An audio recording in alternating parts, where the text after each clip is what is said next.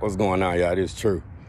Uh, man, uh, they got the the Caucasian police officer. They finally fired him. Uh, in Tyre Nichols, Tyree Nichols' death. They they did an internal investigation. Uh, said he broke all kind of goddamn rules, and uh, they fired him. Did they want to fire him? Mm, I doubt it, but they did.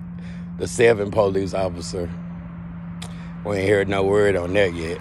They say it's more police officers uh, getting ready to be fired.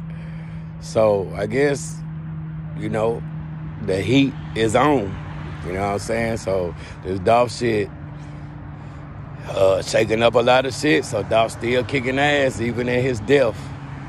He's still alive and still winning. You know what I'm saying? So long live the flipper man. You know what I'm saying?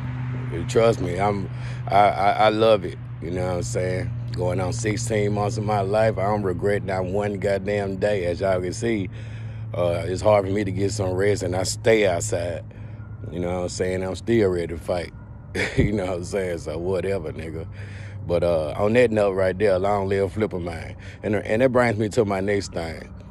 Motherfucker must have ran out of content or tired of being all over the place or something. Cause I know somebody just sent me something talking about true. You see what the old man nigga doing? I say, man, I'll be goddamn. Man, I don't even I really don't give a fuck.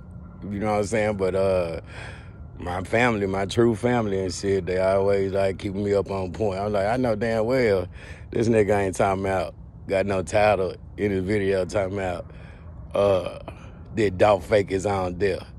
Boy, you need to stop it. Much as we miss and love Dolph, man, we wish, we pray, but we ain't feeding into that. You know what I'm saying? This ain't no big ass conspiracy. What the fuck is wrong with these niggas, bro? You know what I'm saying?